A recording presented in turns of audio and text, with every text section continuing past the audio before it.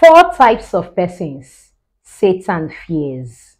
I tell you, there are four kinds of persons that Satan hides from. I know you're surprised about this topic, but I tell you, yes, there are indeed four types of persons that the devil is always terrified when he sees them.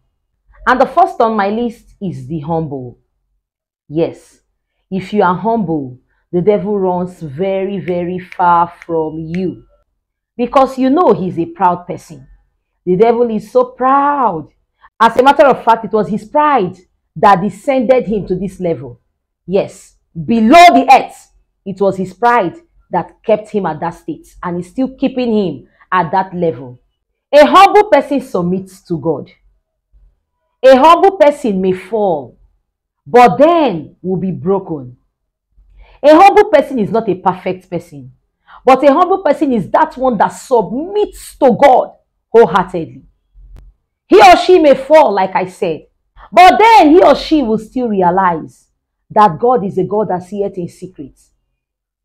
And you will see that humble one go into prayer and fasting. You see that humble one pray from a broken and a contrite heart. You see that humble one bow down in worship to God. And the devil is not happy Remember, he was trying to drag kingship with God. He was trying to measure shoulders with God. And what happened? He was casted down. So when he sees that you are humble, no wonder the Bible says that the Lord humbles the proud and give grace to the humble. I tell you, if you're a humble person, you keep growing from grace to grace. And the devil will run so far from you. As a matter of fact, he'll be terrified by me seeing you. He will not want to come close to you because you are that person that submits to God. You are that person that cries and feel remorse from a broken and a contrite heart. So if you are humble, I tell you, the devil will fear you. And he is, of course, terrified by you. Hallelujah. And the second I have on my list is those who pray. Hallelujah. Prayer brings about connection between you and God. Prayer is talking to God. Prayer is communicating with God. Prayer is having faith in God. Now, this is a God whom you have not seen. This is a God whom you are yet to see. This is a God that, of course, physically, you're not seeing that He's close to you. But because of the faith we have in Him, because of the belief we have in Him, we talk to Him as though He is with us. And of course, He is with us. I want you to understand this. Now, it's not like you're talking to me and I'm facing you, you're talking, you're confident in talking to me. You're not seeing God. He is far but close to us in faith because we believe that He is with us, and that is the connection. That is the perfect connection every Christian needs. Knowing that God is with us, He is in our hearts, He is around us. So if you pray all the time, if you pray without ceasing, ah, there is always a siege of fire around you. I saw an ex-witch lady gave a testimony. I saw it in a video, a repentant witch right now. You know, so um, that there was a day she went on a midnight operation and she was hunting for the souls of little children. So whilst she was flying past, I don't know how they do these things, but while she was, you know, passing, that she saw a house. And, you know, because she's a witch, probably they have their foresights also, that she realized that there are kids in that, in that house. So she dropped by, so she stopped by and stepped into the house. When she entered into the room where these children lay, where they were lying, she says she tried. That how she does it is she calls out their spirits. You know? And she was trying to call out the spirit of these children. There was a, a resistance. Like she was trying to call, but a force was not allowing their soul come out of their body. That how she does it according to her, when she calls them out, she will take them to their meeting and get them initiated. So she was trying to call out the souls of these children. And it was like there was a resistance. There was a force not allowing the souls of those children comfort. And then she started throwing arrows to the children. She said when she threw the arrow, the arrow bounced back. That when she threw the arrow, the arrow bounced back. You know, then she tried to send another thing. I don't know, it's been a while I, I saw that video. She tried to send another thing, and automatically there was a siege of fire around those children. And in that video, she was urging mothers to keep praying for their children. That prayers goes a very, very long way.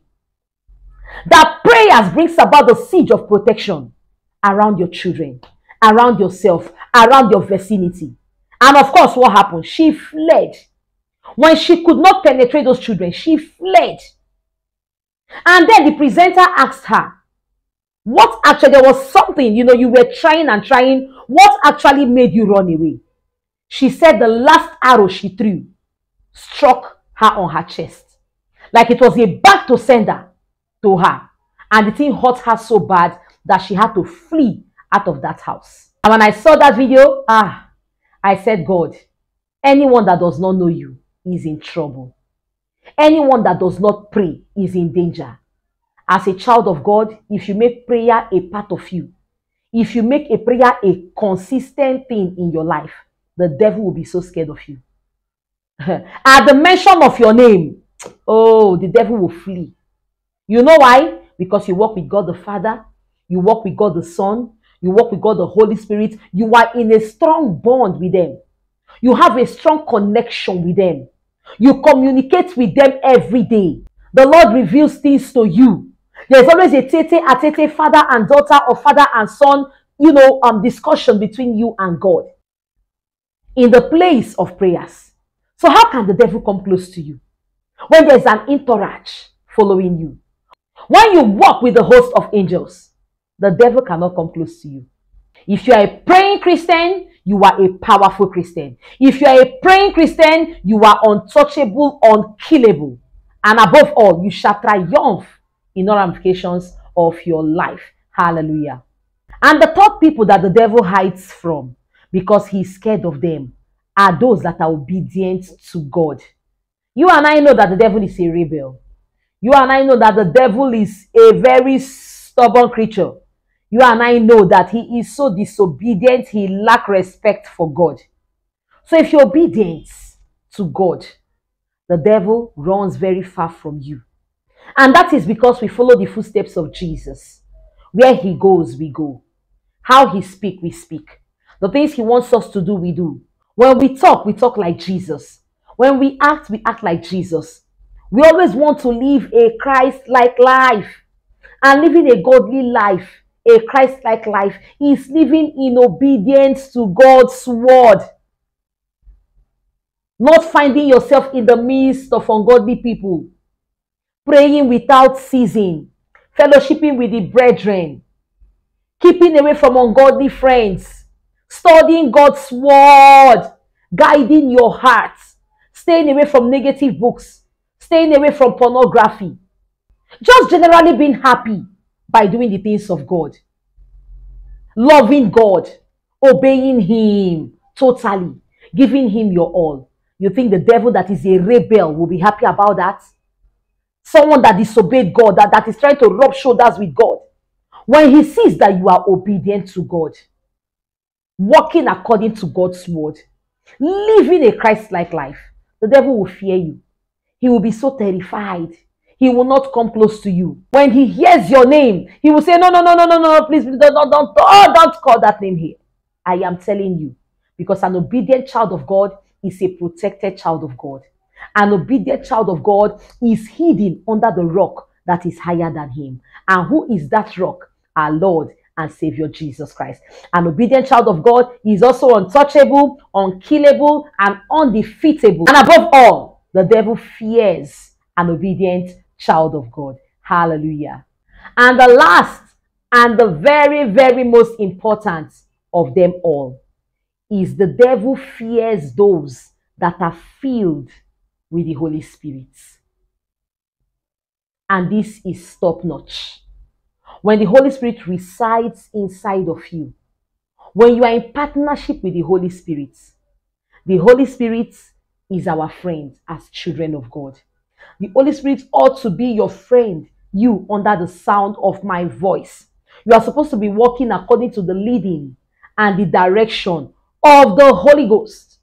The Holy Spirit empowers us Christians to resist temptation. And that is why I said it is top notch. If you walk according to the leading of the Holy Spirit, if the Holy Spirit resides deep inside of you, there is no temptation that you will not conquer.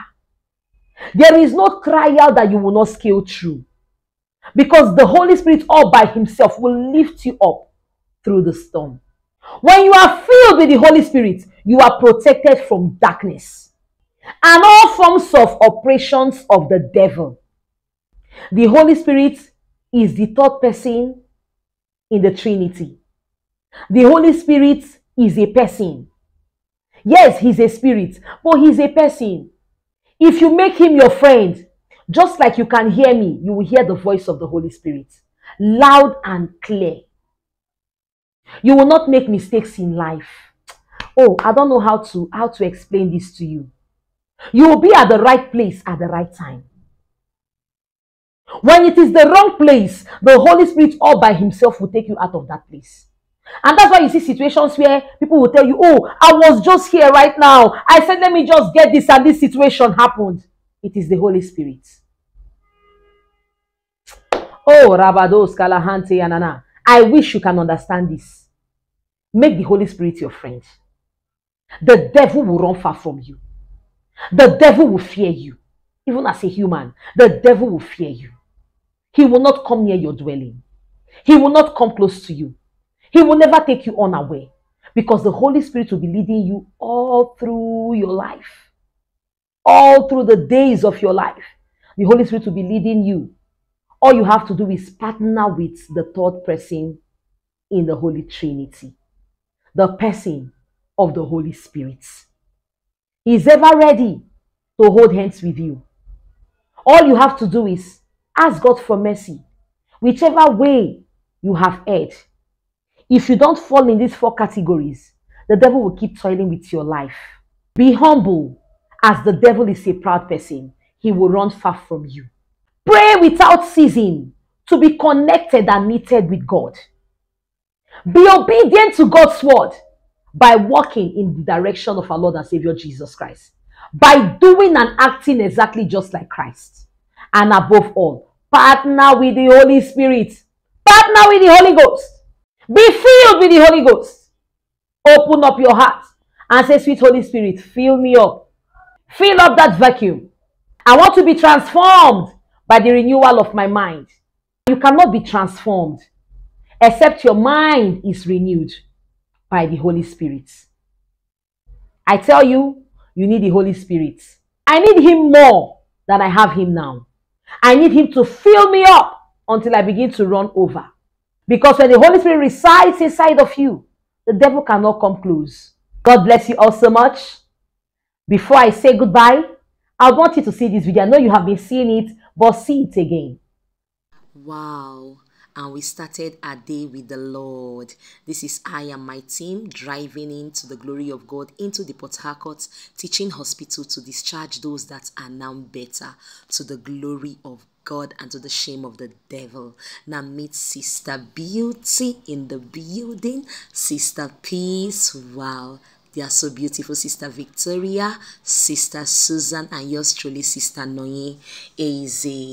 Um, this is our first patient. She gave birth through um, the cesarean section, um, but her baby has got little complication. She says she has been praying fervently for this day, and today the Lord has answered her.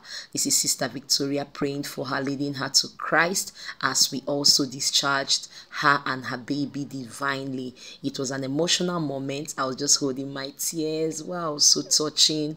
Um, she said, God bless all of you, you all that has sold into this outreach. Meet our second patient. She also gave birth through cesarean section. We actually wanted to discharge her divinely, but we realized she needed some medicine, so we gave her money for that. And this is our third patient. She was molested. As you can see, she's a little girl so emotional.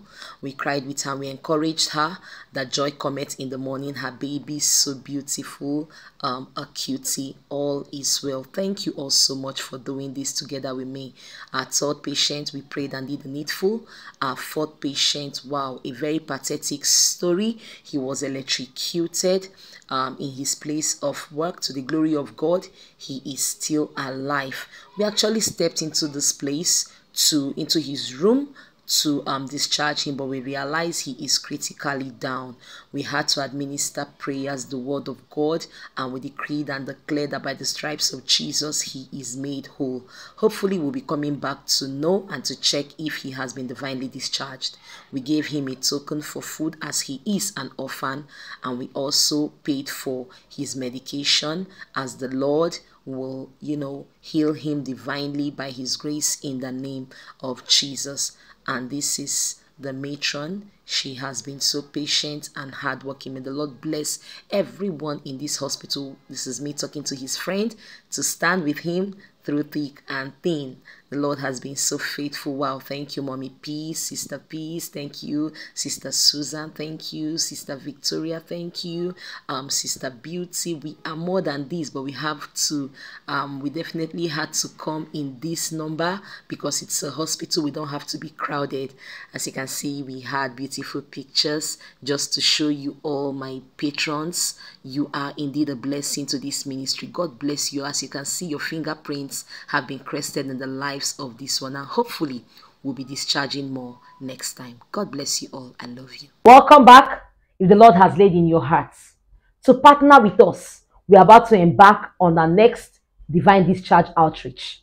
Going to the hospitals to, of course, save souls and discharge them, pay their bills as the Lord has instructed us. Please kindly click on the link in the comment section, become a partner so that your fingerprints can be crested in the lives of those who needs your help, my help in the hospital. And if you also want to reach me privately, this is my WhatsApp number. Chat me up, drop your quota. Nothing is too small. I tell you nothing, absolutely nothing is too small to touch lives in the hospital.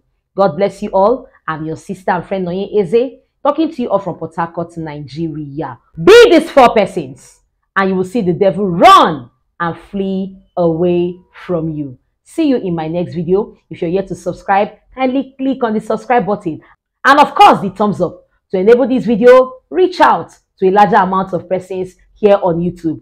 Again, be intentional about copying the link and sharing to family and friends so that the devil will be far from them. God bless you all. Bye for now.